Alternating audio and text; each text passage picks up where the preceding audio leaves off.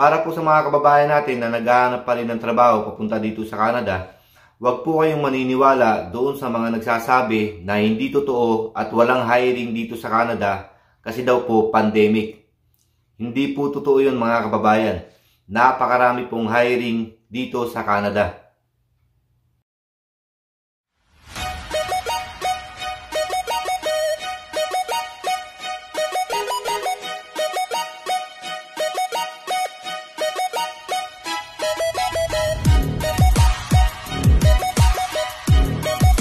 Magandang araw po ulit sa inyo mga kababayan. Mag-update lang po ulit tayo ng mga hiring dito sa Canada. Para po sa mga kababayan natin na naghahanap ng trabaho, magpasa hanggang ngayon, manood lang po kayo, makinig ng mabuti.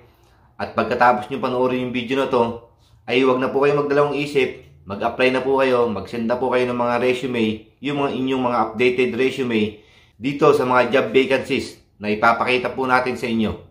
Huwag na po natin patagalin mga kababayan. Pero bago po tayo magsimula, huwag niyo pong kalimutan na i-like, i-share yung video, click the notification bell, at mag-subscribe po kayo dito sa aking YouTube channel. Ito na po yung mga hiring ngayon dito sa Canada. Babasahin ko po, lalagay ko po dito sa screen yung mga contact number at mga email address ng mga agency na po pwede niyong pasahan ng inyong mga resume. Unang-una po mga kababayan, hiring po ng production operators, baker, welder, machinist, assembler, dito po sa Mercan Canada Employment Philippines Incorporated. Yung qualification po nila ay uh, male or female po pwede po 23 to 40 years old. 18 months minimum ongoing experience as production operator in processing, manufacturing industries for food products, working knowledge of production equipment, willing to take the time to learn the proper and safe way to perform the task. College level po yung hinahanap po nila with good English communication skills. Ibig sabihin po, dapat po ay uh, marunong po kayong mag-English kahit papano. And ability to lift up to 23 kilogram. So, hindi po may iwasan pagka mga production operator po ay nagbubuhat-buhat din po kayo. Kung sa palagay niyo po ay qualified po kayo as production operator, tumawag po kayo dito sa number ng Mercan at uh, pati yung email address nila, ito po, mag-send na po kayo ng resume dyan. Kung meron po kayong mga tanong, pwede niyo pong tawagan mismo yung agency. Hiring din po ng food counter attendant at food server. Hiring din po sila ng room attendants, housekeeping, electrician, meat cutter or butcher at machinist. Ang agency po ay ang Staff House International Resources. Ito po yung kanilang email address at yung telephone number na po pwede nyong kontakin or po pwede nyong pasahan ng resume. Dito naman po mga kababayan sa EDI, Staff Builders International Incorporated, ay hiring po sila ng mga welders, butchers, industrial sewing machine operator, auto mechanics, fire truck mechanics, industrial mechanics, press brake operators, lasers operators, auto body repair mechanics. Ito po yung telephone number at uh, email address ng uh, ah, EDI staff builders na po pwede nyong kontakin at tawagan at po pwede po kayong magpasa ng inyong mga resume dito sa email address na to. At dito naman po mga kababayan sa Oman PIL, International Manpower Development Corporation. Hiring po sila ng mga welder, GMAW at FCAW.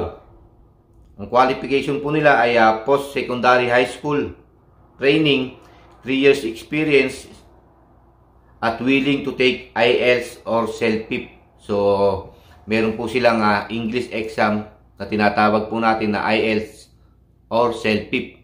Kung palagay nyo po ay qualified po kayo na mag-apply sa trabaho na to, kontakin nyo lang po yung telephone number na to at po pwede po kayong magpasa ng inyong resume dito po sa email address ng agency.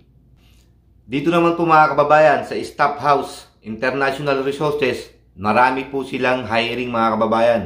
Hiring po sila ng room attendants, mga housekeeping, industrial electrician, electrical technician, meat cutter or butcher, machinist, restaurant manager, food counter attendant at ang mga food server. Nandito po mga kababayan yung telephone number at email address ng Staff House International Resources. At napakarami din pong hiring mga kababayan dito sa IPAMS. Hiring po sila ng fast food supervisors. 100 po yung kailangan nila. Napakarami po.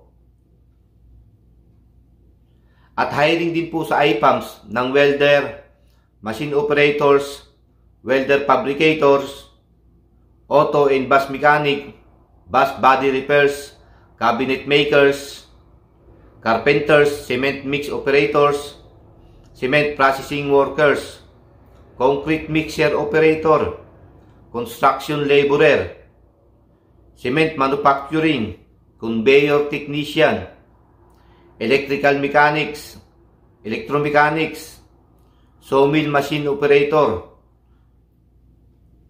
fast food service attendant, wood factory workers. So napakarami pong hiring dito sa IPAMS mga kababayan. Ito po yung mga telephone number nila at email address nila. Kung meron po kayong mga katanungan, wag po kayong maya, tumawag po kayo sa IPAMS at mag-email po kayo ng inyong mga resume dito po sa nilang email address. Disclaimer lang po mga kababayan, hindi po ako parte, empleyado o recruiting agent ng mga agency na to. Sineshare ko lang po sa inyo yung mga nakikita ko na hiring sa mga agency na to para po magkaroon kayo ng idea at madali nyo malaman yung mga hiring dito sa Canada. Isang tip lang po mga kababayan, ipollow nyo lang po yung mga Facebook page ng mga agency na to para po maging updated kayo every time na meron silang mga bagong hiring papunta dito sa Canada, hindi lang dito sa Canada, kundi sa mga ibang bansa na kailangan nila ng mga OFW. Kung meron po po kayo ng mga ibang katanungan, i-comment nyo lang po dito sa ating video. At muli po, makita-kita po tayo sa susunod po nating video. Ako po si Leon Say.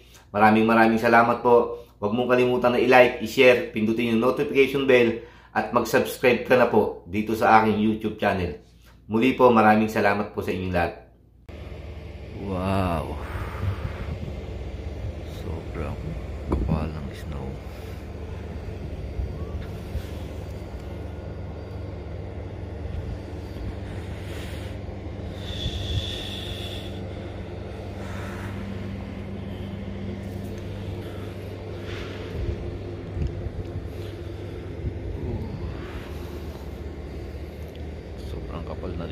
No.